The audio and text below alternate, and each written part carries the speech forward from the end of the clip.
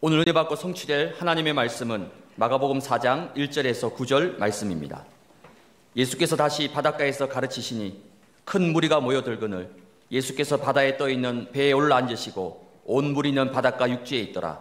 이에 예수께서 여러 가지를 비유로 가르치시니 그 가르치신 중에 그들에게 이르시되 들으라 씨를 뿌리는 자가 뿌리로 나가서 뿌릴새 더러는 길가에 떨어짐에 새들이 와서 먹어버렸고 더러는 흙이 얕은 돌밭에 떨어짐에 흙이 깊지 아니하므로 곧 싹이 나오나 해가 돋은 후에 타서 뿌리가 없으므로 말랐고 더러는 가시 떨기에 떨어짐에 가시가 자라 기운을 막음으로 결실하지 못하였고 더러는 좋은 땅에 떨어짐에 자라 무성하게 결실하였으니 30배나 60배나 100배가 되었느냐 하시고 또 이르시되 들을 기 있는 자는 들으라 하시니라 아멘. 신앙 고백합니다. 주는 그리스도시요 살아계신 하나님의 아들이십니다. 아멘. 예배 순돌도 서로 서로 다 같이 인사합시다. 열린 마음으로 예배합시다. 장막틀을 넓히는 응답 플랫폼이란 제목으로 어, 말씀을 드립니다. 2024년 하나님께서 너 장막틀을 넓히라라는 이 성취될 이 언약을 주셨는데 그 말씀이 어딨느냐? 이사야 54장 2절 하나님의 말씀입니다. 한 해 동안 하나님께서 열방을 얻는 이 237 망대를 그렇게 어, 세워주겠다 약속하셨고 우리가 장막틀을 넓히는 믿음의 도전 도전입니다. 도전 구원은 공짜로 그냥 믿음 공짜예요 공짜. 근데 축복 하나님 주시는 이 시대적 사명 이 영원한 멸류관 밖에서 도전해라 믿음의 도전을 할 때 하나님께서 내가 너에게 장막틀을 넓혀 주겠다. 약속을 그렇게 하셨습니다. 도전 안 하면 안, 받, 안 받겠다는 얘기고 안 받으면 돼요. 그냥 그냥 그런 대로 한 세상 살면 됩니다. 그런데 장막틀 넓혀 주겠다 약속하셨기 때문에 어떻게 이걸 내가 내 걸 가지느냐? 교회도 장막틀 넓히라. 교회 장막틀 넓히는 방법이 뭐냐? 스타트만 운동이다. 지역 장막틀 넓혀라. 어떻게 넓히냐? 사천 망대 말씀 운동이다. 237 나라 살리는 이 망대를 어디 세워놓냐? 치유하면 된다. 말씀을 치유해라. 어, 응답의 통로를 다 알려줬습니다. 응답의 통로를 다 알려줬습니다. 앉아서도 세계 보험할 수 있도록 이 여원교회 나오면서 전 세계 보험할 세 계 영혼들 가슴에 품고 기도할 수 있도록 음? 다 말씀드렸어요. 여러분들이 믿음으로 받으면 응답의 통로가 될 줄로 믿습니다.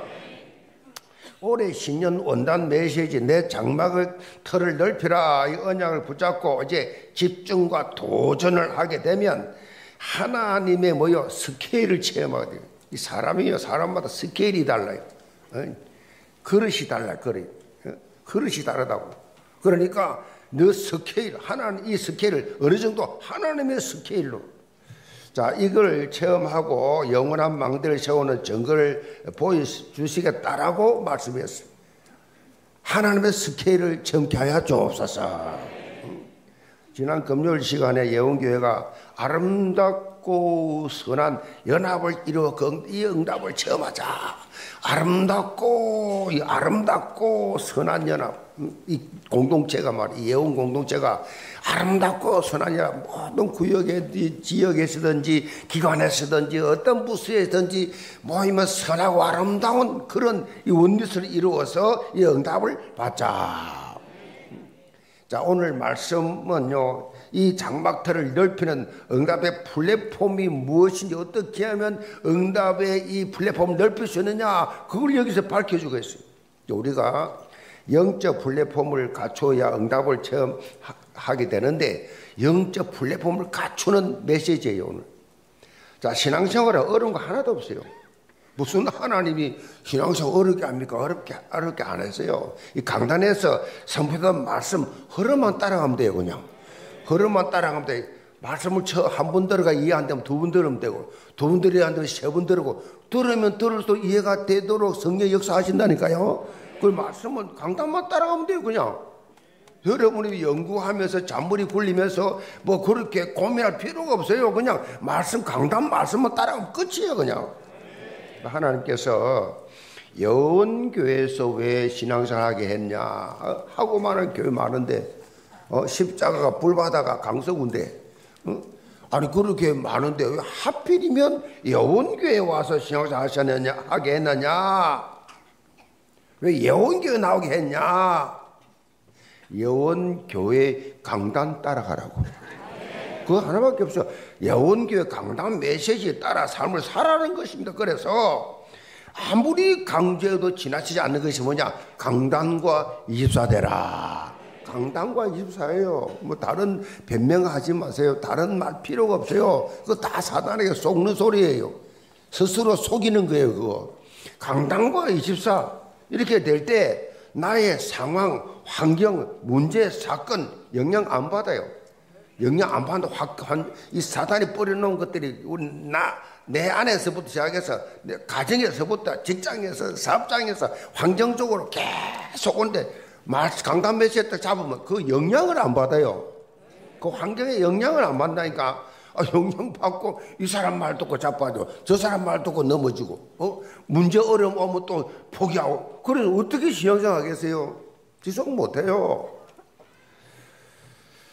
하나님의 석회를 체험하는 25 영혼의 인생 작품 만드시기를 바랍니다. 자 이런 말이 있어요. 어제 맨 끈은 내일 되면 허술하게 되고 그냥 두면 풀어지고 만다. 나날이 끈을 여며야 하듯이 사람도 결심과 일을 나날이 거듭 여며야 변치 않는다 그랬어요. 우리가 강단 말씀과 24 해야 될 이유, 그 이유를 아주 명약관하게 보여준 표현이에요. 사탄은 어떻게 해서든지 언약과 분리된 삶을 살도록 총 공격합니다. 언약과 분리된 삶, 잘 좀 생각 좀 해보세요. 교회 와서 예배를 드리는데 예배 드리고 교회를 나가면 이제 사회생활을 하게 되잖아요. 나가면 언약과 관계된 삶을 사십니까? 아니 막 강단에서 말씀 두고 말씀을 내 마음에 적용하면서 그 삶 속에 적용하십니까? 거의 못해요. 왜? 사단 공격받아가지고. 당장 눈에 보이는 거, 당장 생긴 일, 여기에 다 그냥 다, 다 잡혀가지고. 사단이 총 공격한다니까요. 말씀을 붙잡는 순간, 언약을 붙잡는 순간 차원이 다른 응답을 응답을 체험하기 때문에 요거를 막기 위해서 사단은 24 불가동합니다. 불가동해. 어떻게 하든지 은혜 못 받도록 은혜 받았다 할지라도 적용 못 하도록 잊어버리도록 그래서 요 교회를 수십 년 다녔는데도 뻥이야. 메시지가 하나도 없어.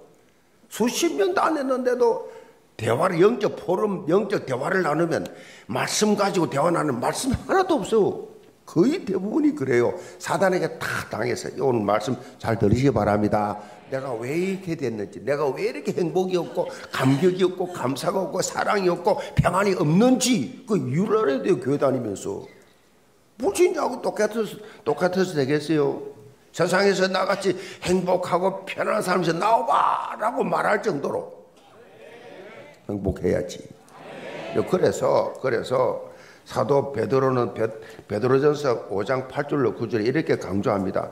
근신하라 깨어라 너희 대적마귀가 우는 사자같이 두루다니며 삼킬 자를 찾나니 너희는 믿음을 굳건하게 하여 그를 대적하라.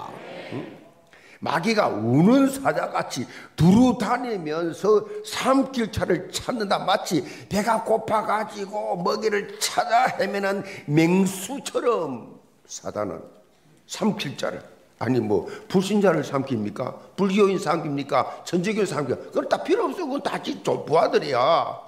제일 중요한 건 이 개신교 말이야. 개신교. 어? 개신교 중에서도 오직 믿음으로 구는다는 이 칼빈주의, 이 장르교, 이딴 맹수 같이 막 굶주린 맹수처럼 사탄이 말이야.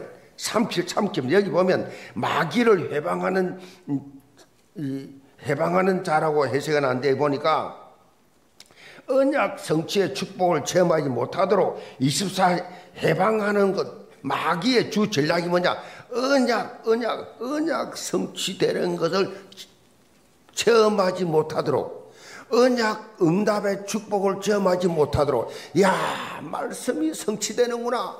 말씀대로 내가 순종하고 따라하고 결단했더니 하나님이 이렇게 역사하시구나. 요거를 체험하지 못하도록 마귀의 주전략입니다. 그래서 우리가 바수군처럼 영적 경각심을 다시 깨워야 한다 영적으로 깨어 있어야 돼 다시 말하면 쉽게 말하면 말씀의 은혜를 받아야 돼요. 말씀의 은혜를 받아야 돼. 너 장막터를 넓히라. 이런 언약을 여러분 2024년 한 해 매일 매 순간 매 순간 꽉 잡으시기 바랍니다. 나 오늘 찬양 들으면서 깜짝 놀랐네.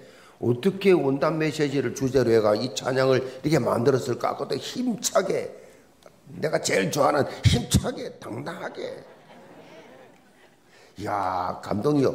이거를 앞으로 금요일 때 자주 부르시기 바랍니다. 조금 어렵겠지만은 막 계속 부르면 쉬워져.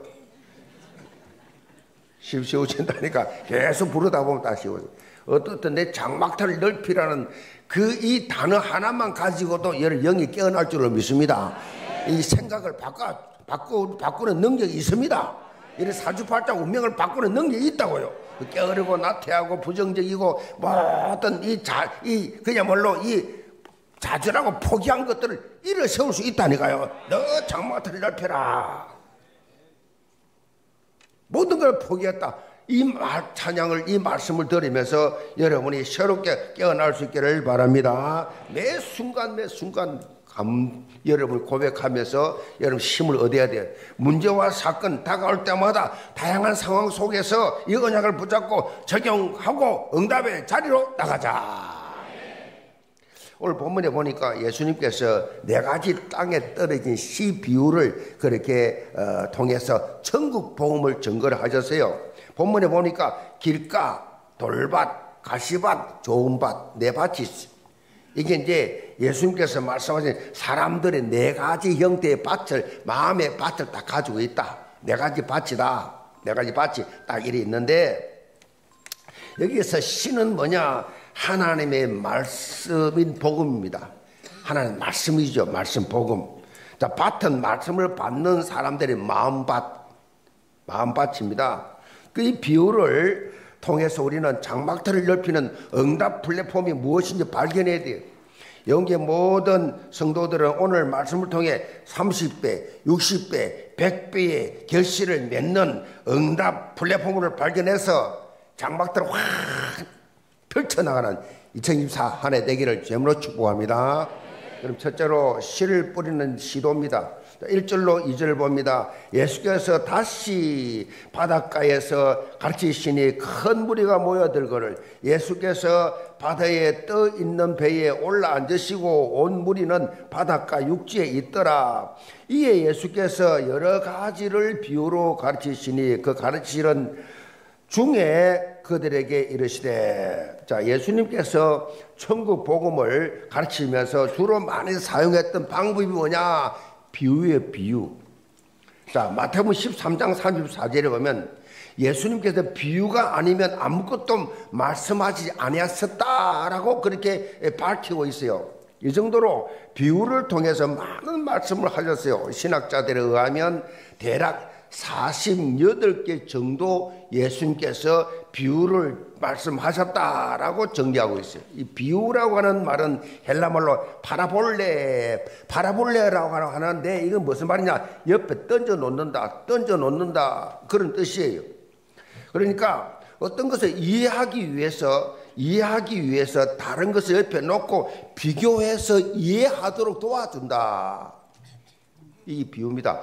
이해하도록 도와준다 그런 의미죠. 특별히 예수님은 이스라엘 백성들의 이 삶 속에서 쉽게 접할 수 있는 그냥 자연이라든가 일상생활 속에서 그 문화 속에서 그 풍습 속에서 그 관습 속에 있는 것들을 비유로 소재로 삼아서 그렇게 천국 복음을 하나님의 나라에 대해서 알 수 있도록 이해할 수 있도록 왜? 육신적인 것만 가지고 사는 우리에게 눈에 보이지 않는 하나님의 나라, 영적인 것 말하려고 하니까 이거 어려운 말이거든. 뭐 이해가 안 되니까 예수님께서 그 간격을 줄, 줄이기 위해서 비유로, 비유로 들어서 그 천국에 대해서 설명을 그렇게 하셨어요. 본문 3절로 4절에 보면 예수님께서 씨를 뿌리는 자가 뿌려 나가서 뿌렸다라고 말씀으로 시작합니다. 그래서 무엇보다 중요한 것이 뭐냐? 일단 믿음의 씨를 뿌리는 것입니다. 씨를 뿌린다, 뿌렸다. 씨를 뿌렸다는 것은요, 말씀 선포를 말하지요. 말씀을 전했다. 이 말씀 선포입니다. 복음은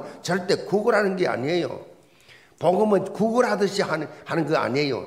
전도도 구걸하듯이 하는 게 아니에요. 설교도 구걸하듯이 남 눈치를 보면서 하는 게 아니에요.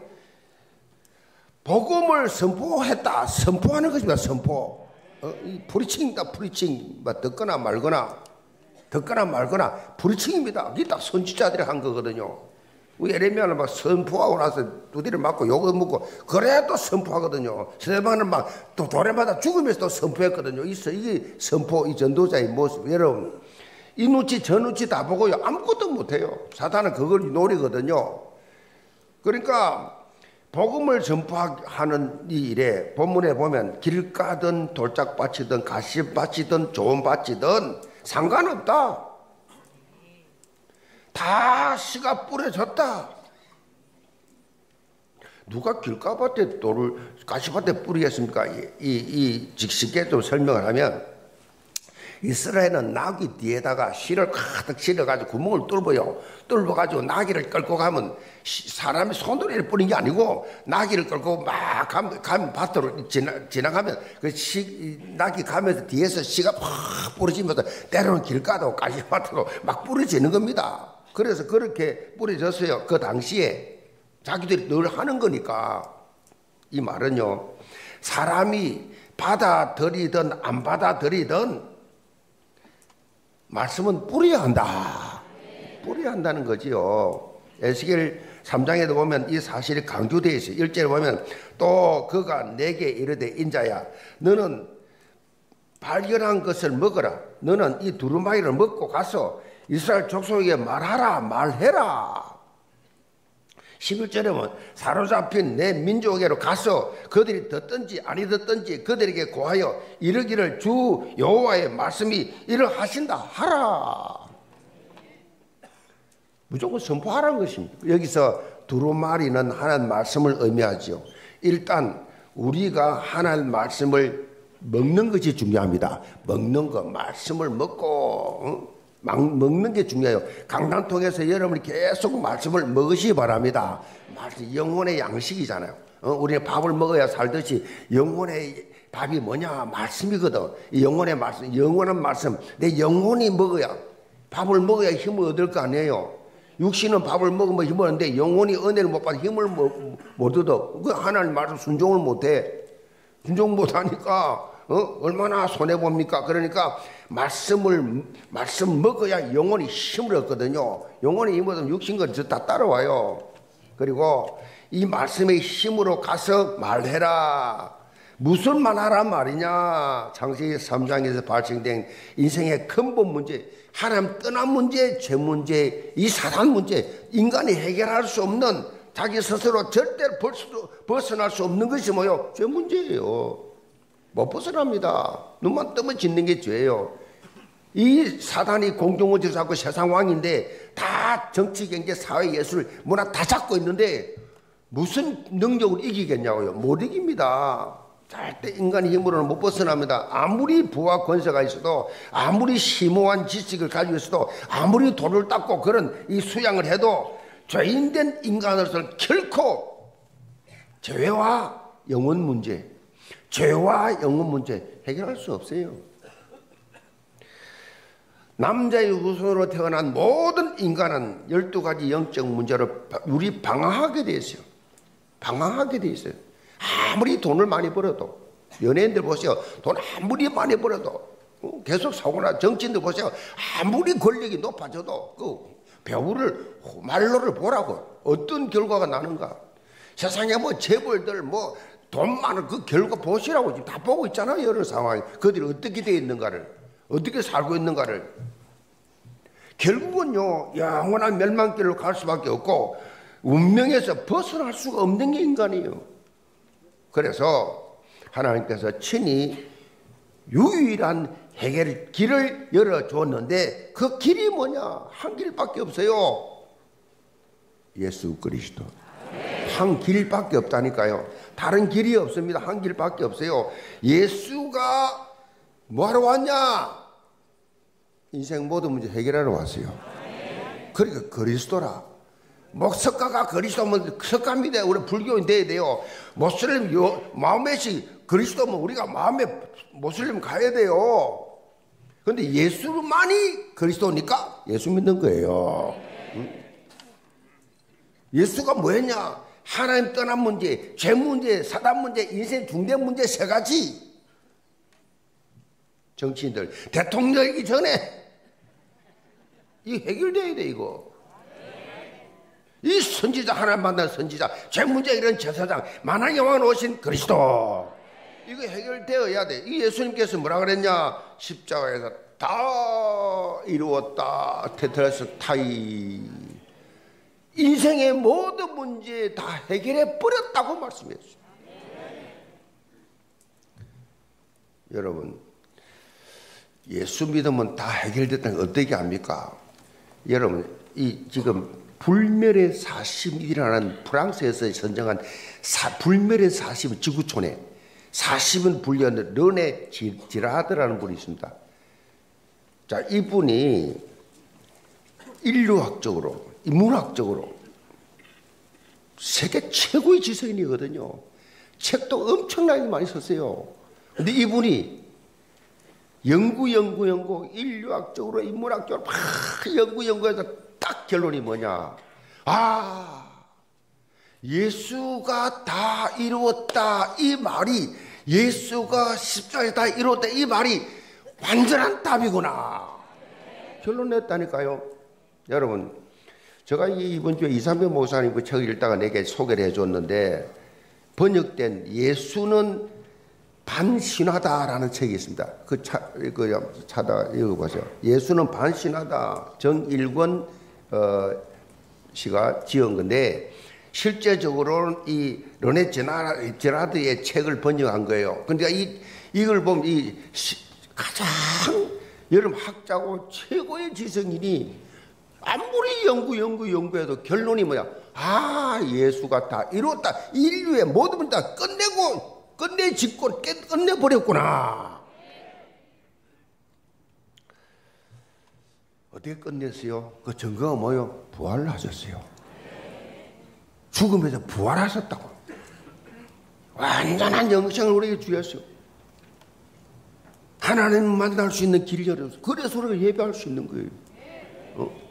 어? 일, 일주일 내내 죄만 지은 우리가 어떻게 하나님을 앞에 예배 드리겠어요? 그리스도로 인해 십자가에 보일로 피 제사함 받고 제사함 받고 하나님 예배하는 겁니다. 이 예배할 수 있는 길을 다 열어주시면서 영원한 생명을 주셨다. 이 영적 진리, 영생을 얻을 수 있는 유일한 길을 평생 못 들어본 사람들이 너무 많아요. 너무 많아. 너무 많아. 우리 가족들도 너무 많지요. 우리 우리 가족들 중에 그래서 우리가 2024년 골육 전도팀을 그렇게 이제 이 구성을 해서 가문보고마이로자 찬양에 다 나왔어요. 골룡전도 찬양을 이 그렇게 여러분 친족이 아니어도 돼요. 여러분 친구, 여러분 지인, 여러분 직장 동료 전부 다 대상이에요.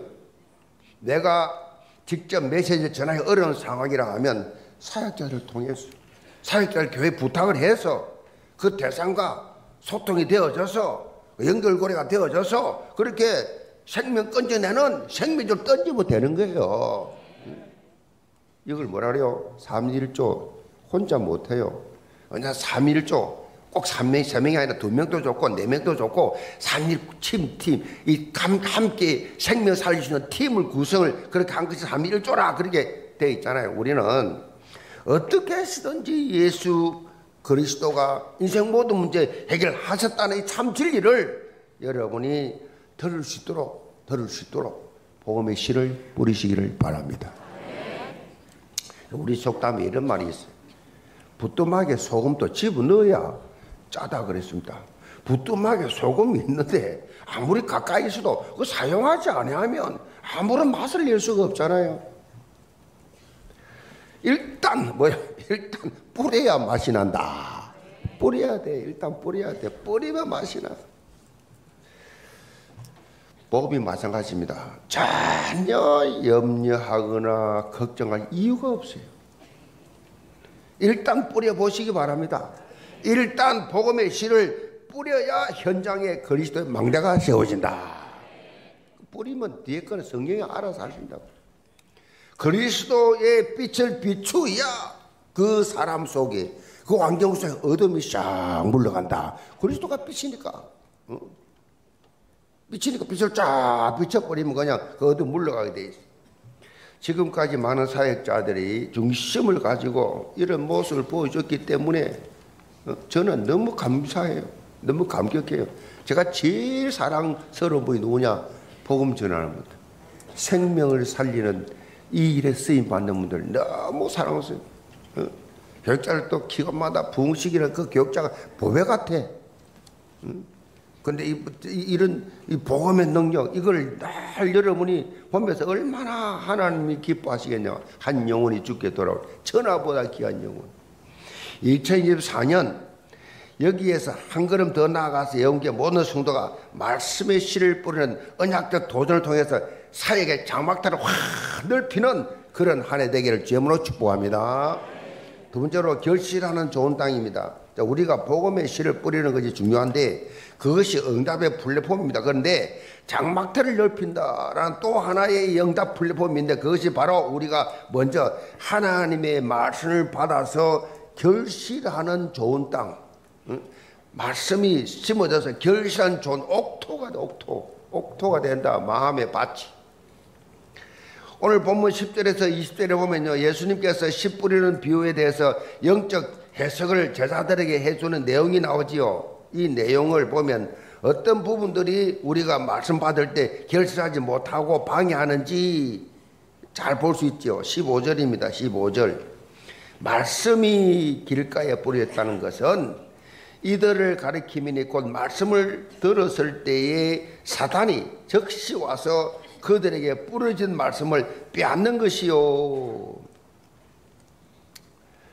어, 말씀이 말씀이 뿌려 이 말씀이 이, 뿌려졌는데 이 말씀이 말이요 어, 길가와 같은 마음밭은 말씀이 뿌려졌는데 마음이 굳어서 마음이 굳어서 마음을 닫아 놓으니까 마음이 굳어서 마음이 교만했어 마음이 세상 것으로 가득 차서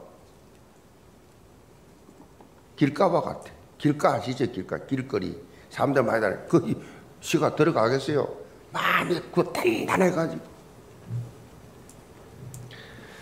쉽게 말하면 자기가 살아온 삶의 경험, 나름대로 선입견, 편견, 고정관념 칵 잡혀가지고 이 말씀이 들어갈 수가 없어. 선입견, 편견이 딱 있어가지고.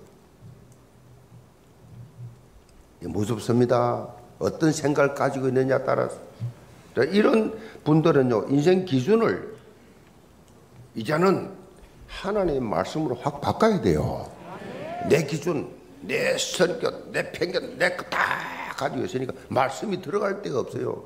그래가지고 30년 교회 다닙니다. 딱 자기 기준이 있어, 자기 기준. 말씀 기준이 아니에요. 오늘부터 이번 한 해는 하나님 말씀으로 기준 삼으시 바랍니다. 확 바꿔야 돼, 확 바꿔야 돼. 아, 너 바뀌었구나. 야, 이제 말투가 바뀌었네. 어, 완전히 주위 사람들이 깜짝 놀랄 정도로 확 바꿔야 돼. 아멘. 뭐 왜 안 되냐? 뭐 안 돼? 나는 왜 응답 못 받냐? 내가 세임 못 받냐? 그런 말할 필요가 없어요. 말씀의 은혜 받는다. 끝난다고. 이사야 4장 8절에 푸른 마르고 꽃은 시드나 우리 하나님 말씀은 영원히 서리라. 말씀만 영원해요. 말씀만. 하나님 말씀, 사람 말은요, 오늘 맞다 내일 틀릴 수 있어요. 왜 세, 상이 자꾸 바뀌니까, 바뀌니까. 말씀은 영원해. 히브리 13장 8절에 예수 그리스도는 어제나 오늘은 영원토록 동일하시다. 이 말씀은 영원토록 동일하세요. 동일하세요. 내가 가지고 있는 생각들은 영원하지 않기 때문에 바꾸라는 얘기예요. 자, 오직 여호와 하나님의 말씀, 오직 예수 그리스도만 영원하도록 동일하시다. 자, 16절 보세요. 또 이와 같이 돌밭에 뿌렸다는 것은 이들을 가르치미니 곧 말씀을 들을 때에 즉시 기쁨으로 받으나 그 속에 뿌리가 없어. 잠깐 견디다가 말씀으로 인하여 환란이나 박해가 일어날 때에는 곧 넘어지는 자요. 돌밭과 같은 이 마음밭은요. 말씀을 받아들이긴 하지만은 기가보다는 낫지요. 받아들이긴 하지만은 믿음의 뿌리가 깊지 못해서 은혜 받고 집에 왔는데 문제 사건이 터졌어. 나는 은혜 받고 왔는데 왜 이런 문제 사건이 터지나? 문제 사건 앞에 쉽게 시험 들고 말아버려요. 넘어져 버려요.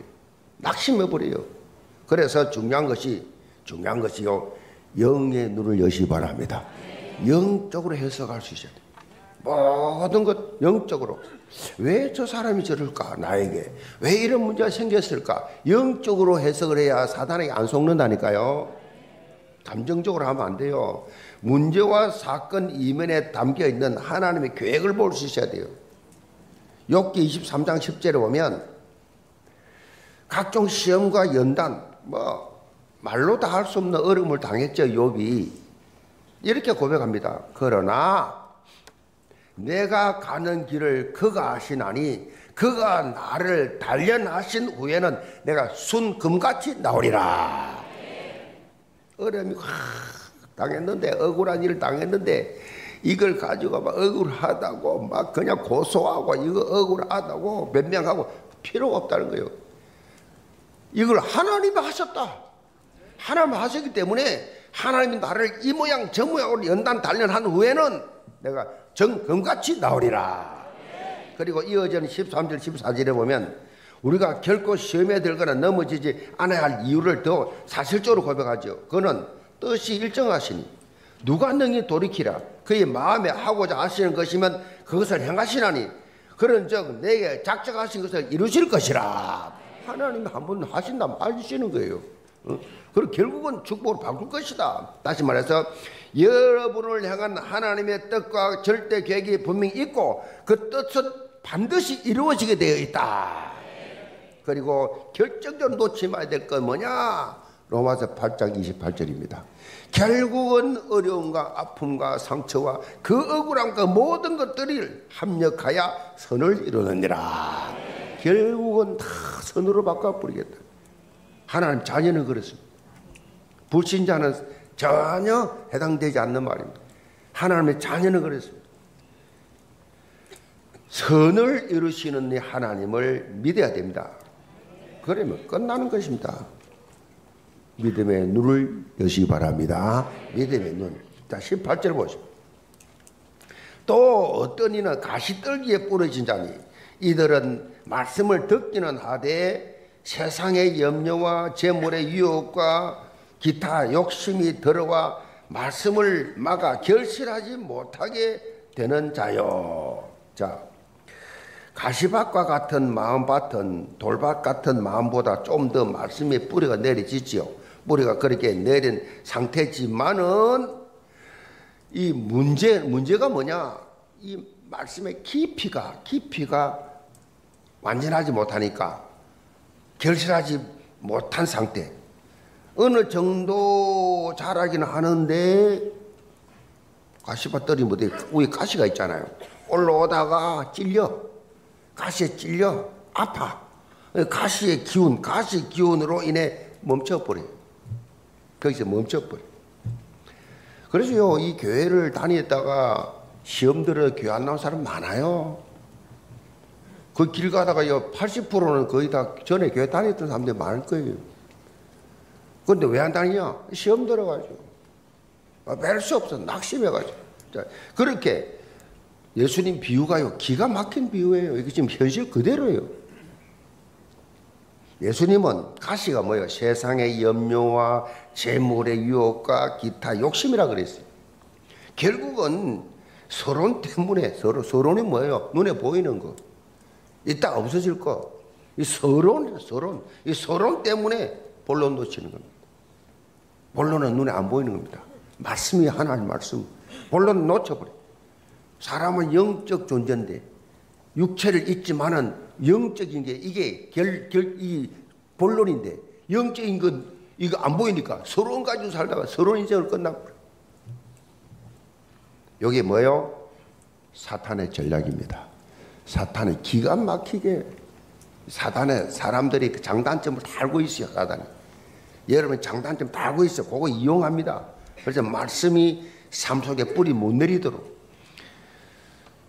주님은 나의 최고봉이라는 유명한 책을 쓴 오스왈드 챔버스 목사님은 염려에 대해서 이렇게 말했어요. 우리의 모든 염려와 초조는 하나님을 빼고 계산하기 때문이다 그랬어요. 하나님이 빠졌어. 염려, 불안, 초조, 걱정. 여기 좀 하나님 빠지고 하는 거야. 하나님이 없으니까 하나님 빼고 계산하기 때문에 늘 싸우는 거요. 하나님 빼고 계산하니까 갈등이 오는 겁니다. 하나님이 없어. 정말 그렇잖아요. 속지 마시기 바랍니다. 속지 마세요. 성삼위 하나님과 with 임마누엘 원네스 이 축복을 맛보시기를 바랍니다. 20절을 봅니다. 좋은 땅에 뿌렸다는 것은 곧 말씀을 듣고 받아 30배나 60배나 100배 결실을 하는 자니라. 자, 예수님은 결론적으로 결실을 방해하는 것들을 다 내려놓고 하나님의 말씀으로 각인 뿌리 체질화되는 것이 좋은 땅, 장막틀을 넓히는 응답의 플랫폼이다라고 강조하고 있어요. 이렇게 되면 30배, 60배, 100배의 결실을 맺게 되는데 장막터가 넓혀지는 정거를 맛보게 된다. 특별히 본문에 나오는 듣고 받고 결실하는 이런 세 단어가 세 단어를 원해 보면 전부 다 현재형이에요. 현재형, 현재. 현재형으로 써져 있어요. 이 말은 한 번 말씀을 들은 것으로 끝나는 것이 아니고 지속적으로 말씀을 받고 그 말씀을 적용하는 삶을 살아야 한다. 계속 말씀 받고 적용하고 말씀 적용하고 안 되면 또, 또 받고 또 받고 또 말씀 받고 또 계속 적용. 여기 모든 성도들 2024년 항상 강단과 원더스를 통해서 100배 결실을 맺는 100배, 100배는 뭐 100배뿐만 아니에요. 여러분 포도 나무 씨 하나 뿌렸는데 이 100, 100개만 됩니까? 수천 개, 수천. 씨 하나가 말이요. 무슨 말입니까? 이 어마어마한 하나님 축복 기다리고 있어요. 중요한 건 여러분의 믿음 마음 받칩니다. 마음 받. 이런 응답의 플랫폼을 구축해서 언약 성취의 주역들 되기를 주님으로 축복합니다. 결론입니다. 신앙생활을 하면서 응답과 믿음의 성장을 체험하는 데 중요한 요소가 있어요. 그것은 바로 관심이에요. 관심. 관심. 문자적으로 이 관심이란 뜻은요. 어떤 것에 마음이 끌려 주의를 기울인다. 그런 뜻이죠. 마음이 끌려 주의를 기울인다. 관심. 내가 얼마나 강단 말씀에 관심이 있느냐. 주어진 직분에 얼마나 내가 관심이 있느냐. 여기에 따라서 결과는 열매는 천냥지 차지요. 관심이죠, 관심. 사서 삼경 중에서요. 하나 하나죠. 대학. 이 대학에 보면 이런 말이 있습니다. 마음에 있지 않으면 보아도 보이지 않고 들어도 들리지 않고 먹어도 그 맛을 모른다 그랬어요. 맞는 말이죠. 여러분요, 마음에 관심이 있는 것만 들리고 보이고 체험됩니다.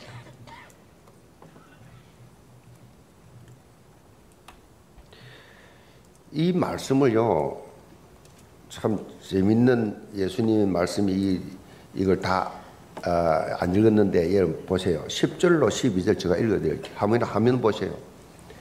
예수께서 홀로 계실 때에 함께 한 사람들이 열두 제자와 더불어 그 비유들에 대해 물으니 이 제자들도 예수님 비유를 잘 몰랐어요. 이 뭔 말인가? 뭐 길가발, 도착발, 가시발, 좋은발 이 들으니까 몰라서 물었어요. 사적으로 이렇게 이제 제자들만 모였을 때에 물으니까 이러시되 하나님 나라의 비밀을 너희에게는 주었으나 외인에게는 모든 것을 비유로 하나니 이는 그들이 듣기는 보기는 보아도 알지 못하며 듣기는 들어도 깨닫지 못하게 하여 돌이켜 모여 죄 사함을 얻지 못하게 하려 함이라 하시고 참 이 말씀이 굉장히 중요해요. 사실은요, 여러분 이 비유의 말씀을 구원받지 못할 사람 못 알아들어요.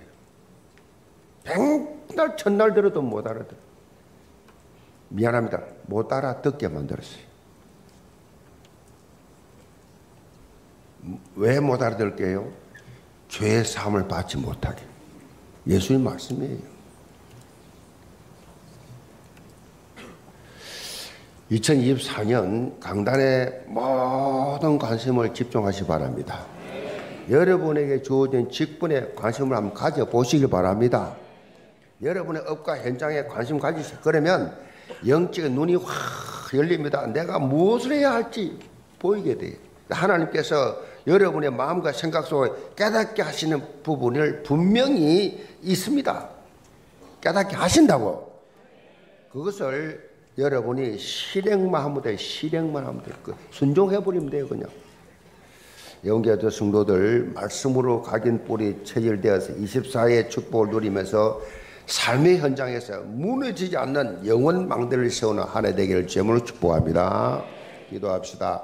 아버지 하나님 영계 모든 성도들 이번 새해는 지금까지 살아온 해와 다르게 장막터를 넓히는 응답의 플랫폼을 체험케 하여 주옵소서.